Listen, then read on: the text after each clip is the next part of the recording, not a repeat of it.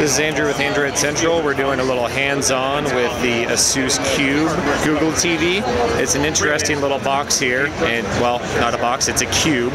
You see the Asus logo there, but uh, doing a quick run through, you've got your IR ports on the front and a uh, USB jack on the side.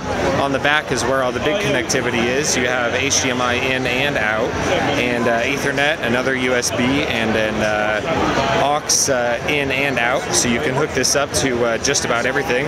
Some vents on the back, but um, this is a non-working unit, but it's the proper uh, it's the proper weight and size. And if uh, you get a feel for it here uh, with with my hand on it, it's you know not too big, uh, you know eight inches across, but you'll notice here we also have the remote, the nice little Nexus Type X on there.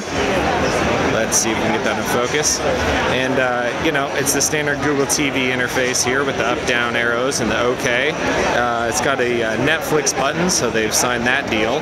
But uh, it gets really interesting because you can flip over here and you go to a full QWERTY keyboard on the back and uh, it's tactile and seems nice enough. There's definitely uh, worse keyboards out there, but um, it's, a, it's an interesting product, and we're looking forward to get a little more hands-on and uh, hopefully have some time with it actually running next time that uh, next time that we talk to you guys. So just for now, that's a quick uh, hands-on, eyes-on with the Asus Qube Google TV.